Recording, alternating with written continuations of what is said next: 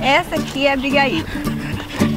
Ela veio pra minha vida para participar de uma rotina muito calma, passar o dia inteiro num apartamento, me esperando, sabe? Só que tem uma mãe maluquinha, que dizem que é maluquinha, e trouxe ela para um veleiro. Todo mundo, os veterinários, todos diziam para não de jeito nenhum, que ela tem problema de pele, que ela vai ficar doente. Mas olha, tá linda. Primeira vez que eu saí assim para passear com ela, eu vim aqui até para essa enseada, sem um bote. E foi super legal. peguei uma caixinha, botei minhas coisas e aí fui puxando a caixinha e, e ela assim com, com um coletinho na voinha e fui nadando com ela. E agora ela já, eu já boto ela na, na água, lá perto da areia, e ela vem nadando sozinha. Esta é a Karina, que mora sozinha, quero dizer, com a Abigail, em um veleiro de 23 pés, que geralmente fica ancorado na frente de uma casa que não está sendo usada lá no Bracuí. Bem, eu tenho contato com o barco desde neném. Assim, quatro meses eu já estava a bordo mas aprendi a velejar em Optimist e passei um bom tempo sem, sem barco, sem velejar. Uns 10 anos por aí.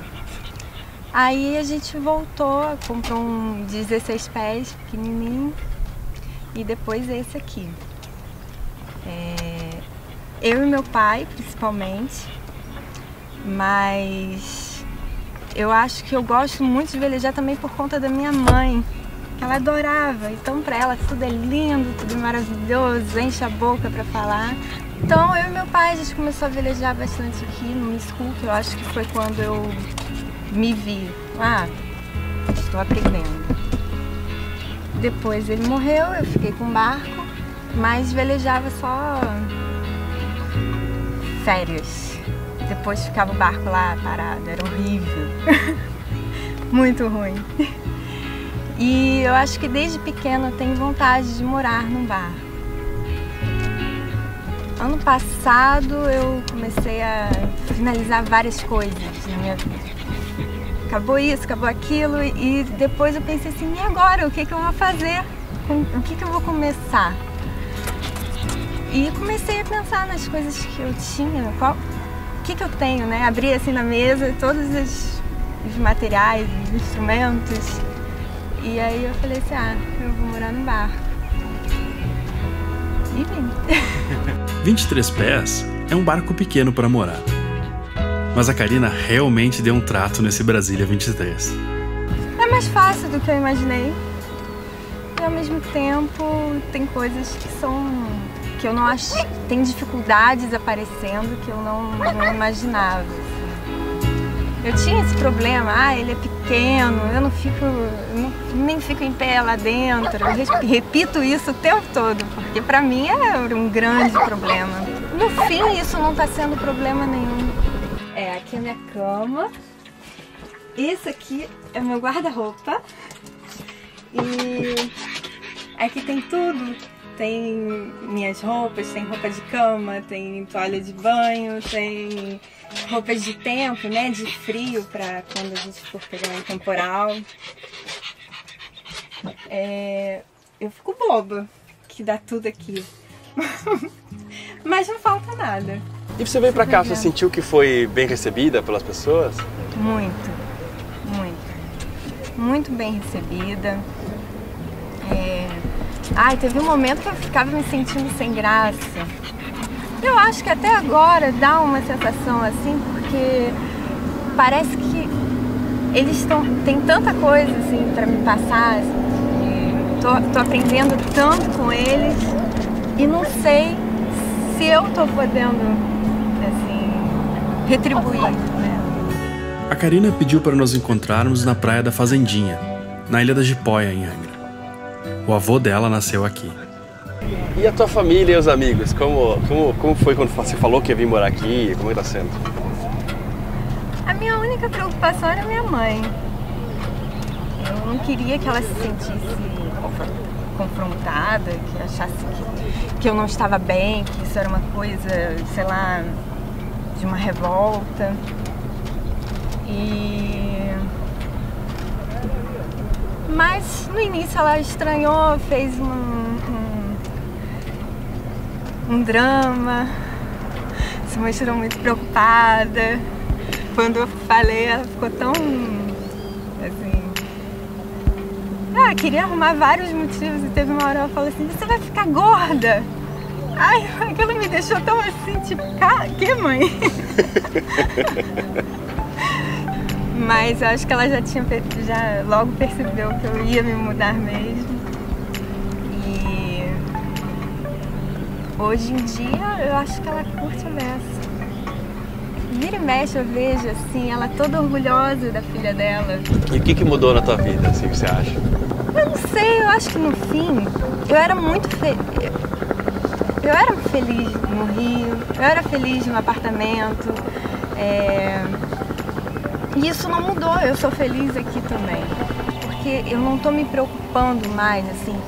E eu acho que eu sou mais produtiva aqui. O, o ambiente não exige de mim, não me pressiona. E eu acho que eu, e eu me sinto mais produtiva. Eu não quero dizer, venha para cá que a sua vida profissional vai mudar. Mas desde que comecei a passar um bom tempo no mar, meus roteiros melhoraram bastante. Tenho certeza de que esse tipo de experiência, mesmo que por um breve período, pode ser transformador até para o seu trabalho. É, eu sou designer e terapeuta corporal por formação. Minha última função foi como designer de estampas. E nesse momento eu trabalho para o barco. Então eu sou uma marceneira, eu eu estou fazendo redinhas para ele. Eu fiz o estofado do, ba do barco. assim, agora eu vou começar a trabalhar na, na parte elétrica dele, então vou, vou ganhar esse conhecimento também, estudar sobre isso.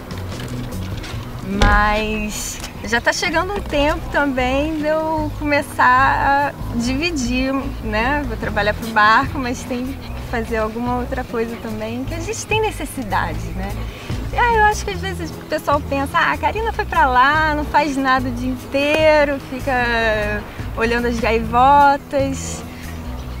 Não, mas eu nem consigo sabe? Nem consigo. Eu, eu gosto de trabalhar, eu adoro trabalhar. Você tá nessa, nessa transformação pra ficar aqui, né? Mas, Sim. tipo, como é que você se mantém? Você tem uma renda ou alguma coisa assim? É, eu tenho isso um é uma, apartamento. Isso é uma grande dúvida das pessoas que vêm morar pra é. cá e como ganham é. dinheiro, né? Eu tenho um apartamento e ele tá alugado. Então, essa é a minha renda, né? Primeiro mas eu tinha uma reserva que já foi indo, foi indo, foi indo, foi indo. Agora eu acho que já, já, tá, já acabou. Mas eu aqui eu tenho necessidade de muito menos. Eu gasto muito menos. Nem tenho com o que gastar.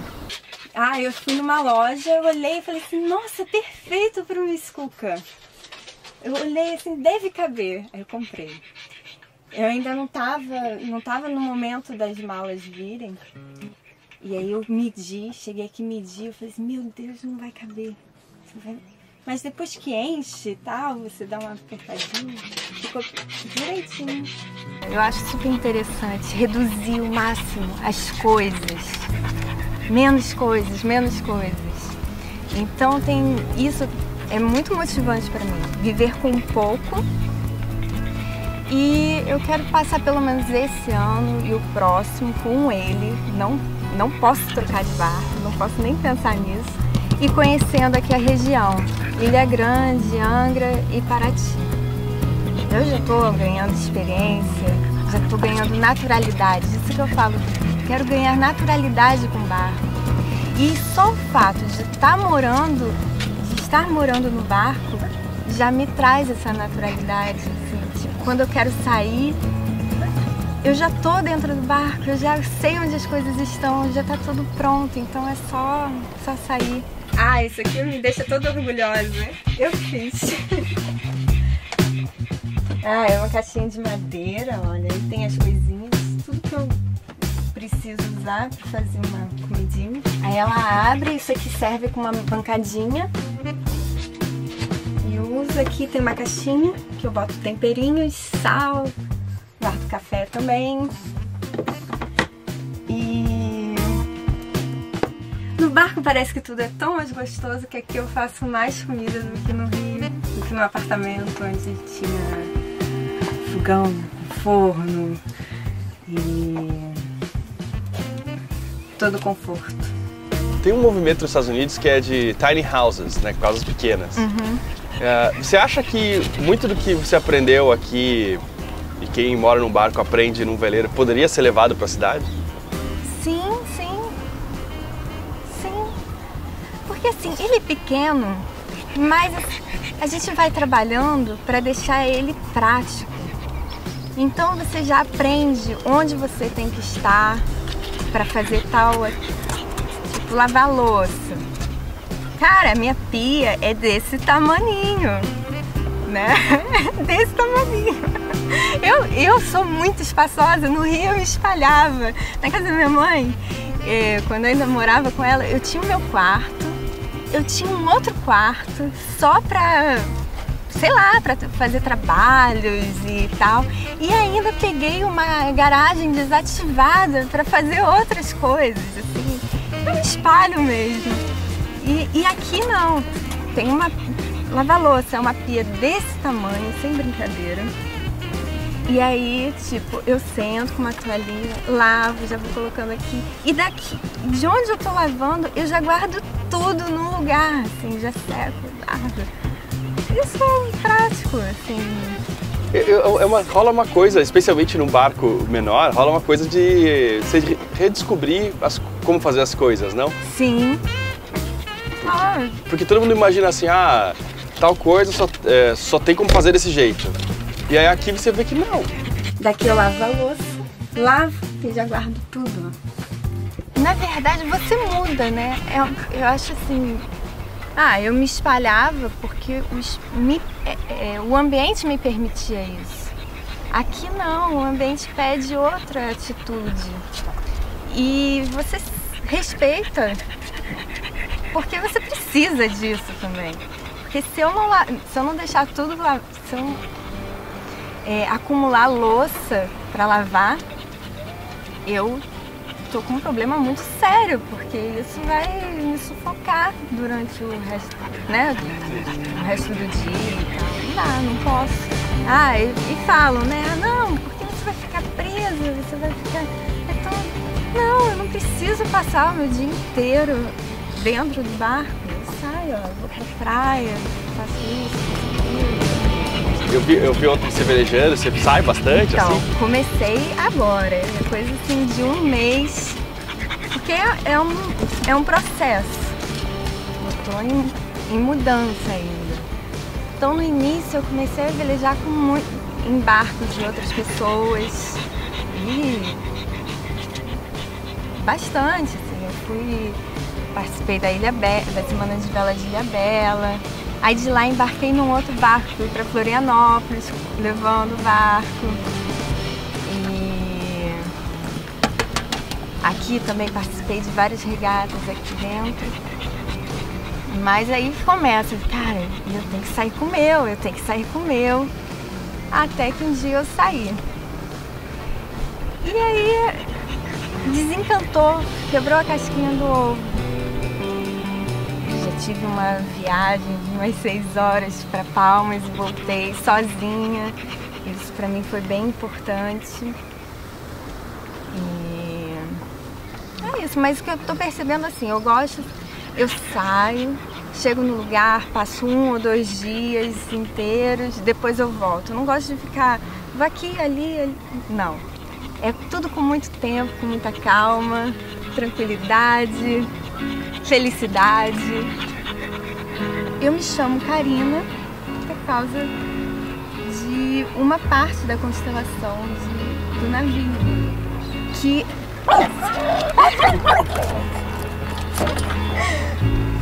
que é de onde vem o meu nome. Eu acho que é aí, assim, no fim minha mãe não precisa ficar preocupada, ela não pode ficar preocupada porque eles me criaram para isso, eles me criaram para estar aqui. E aí eu encontrei esse desenho, que na verdade eu acho que foi minha mãe quem escolheu. Que eu gostei, é um rosto se abrindo.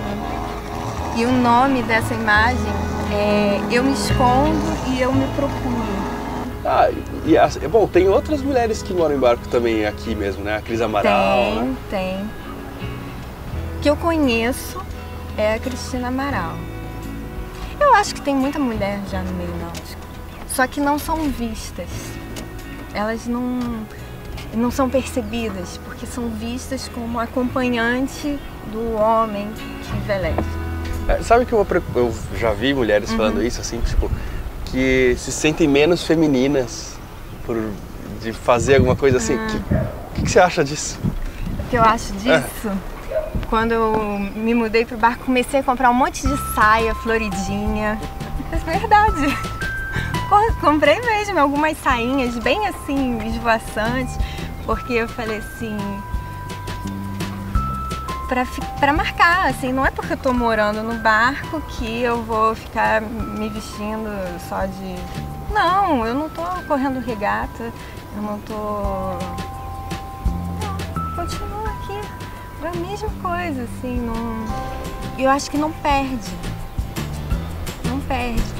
Mas eu vejo que, que existe uma atitude, talvez, de você realmente assumir uma postura um pouco mais masculina, até para ser respeitada. É como se fosse uma, uma necessidade, isso, buscando o respeito.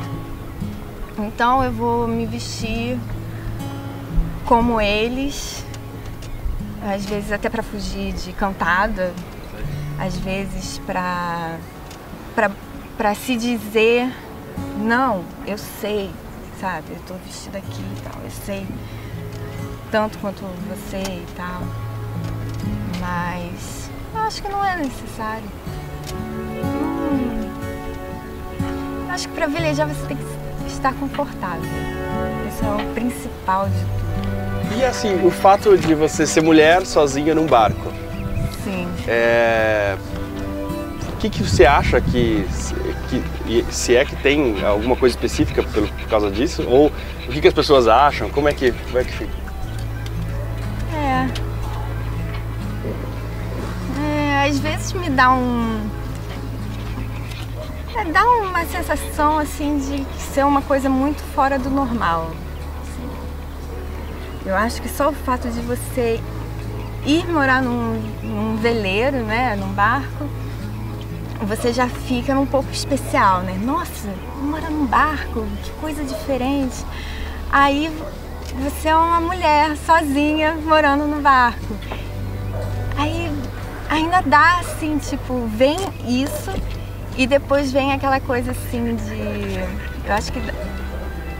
Mas não é perigoso?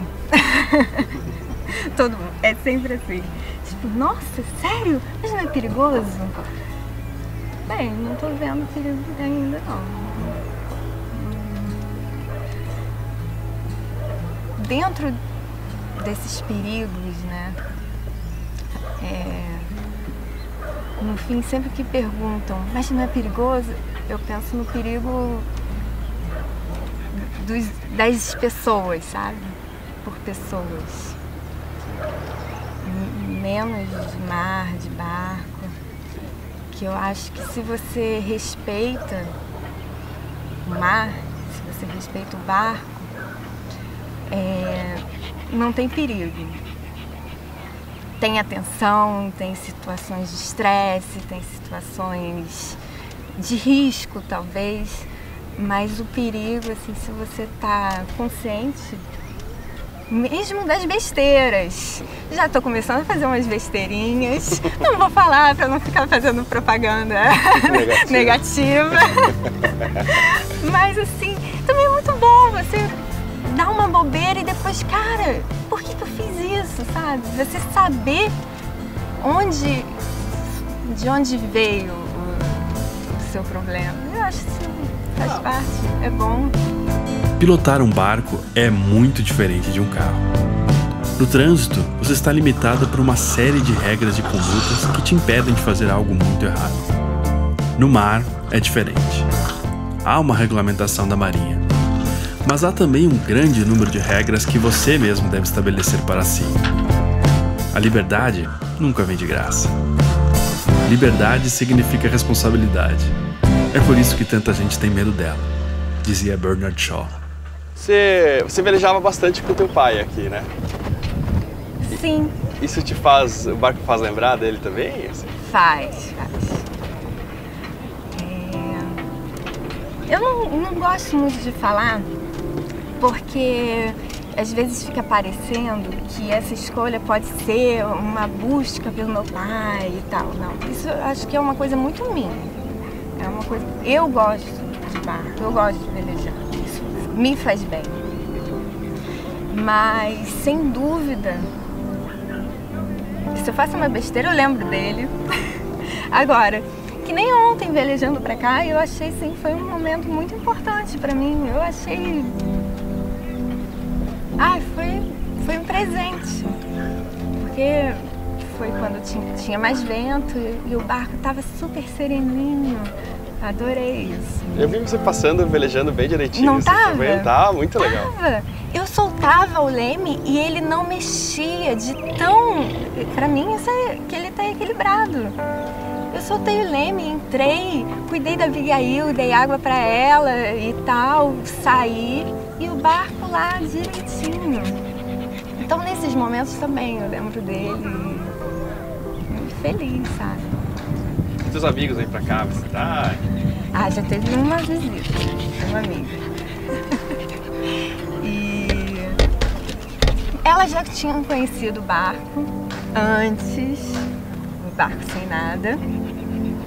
Então, isso de uma certa forma já me, deixou um pouco mais tranquila.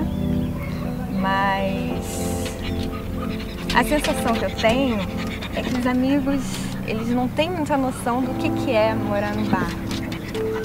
É tudo muito fantasiado. Mas de uma certa forma eu acho que essa fantasia que me atrai também, que me trouxe para cá, né? É, ela existe, mas tem um preço. Eu acho que o preço é que não, as pessoas não sabem, né? Qual é o preço? O que você deixou para trás? O que eu deixei para trás? É, eu deixei. Eu acho que é principalmente o conforto, as facilidades da cidade grande. E você perguntando assim, ah, o que você deixou para trás, né? Aí você olha no fim, é tão pequeno, não faz falta. Realmente não faz falta.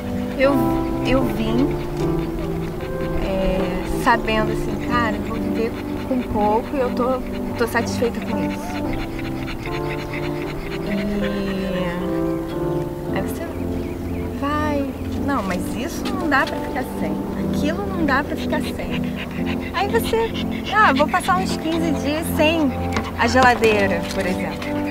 Não, enquanto eu não arrumo, não boto placa solar e bateria nova, eu não vou ter geladeira.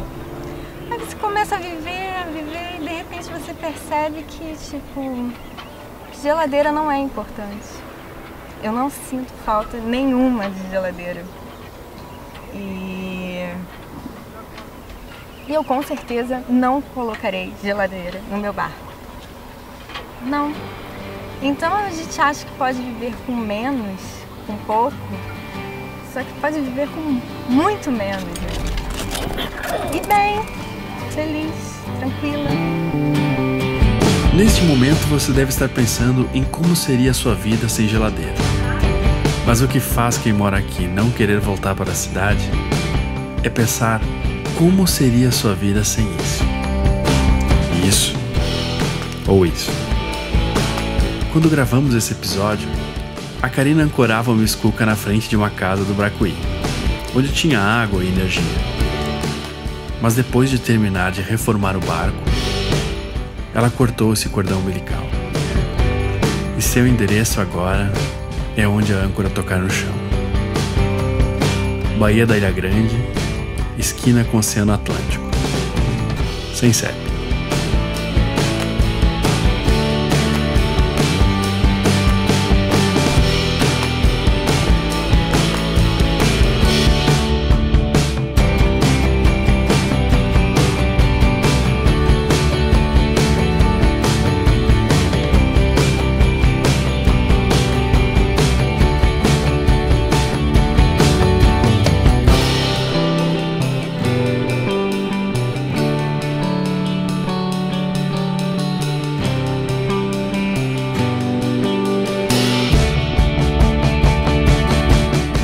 Gosta do jeito que contamos histórias e gostaria de fazer um vídeo para sua empresa, entre em contato com a produtora.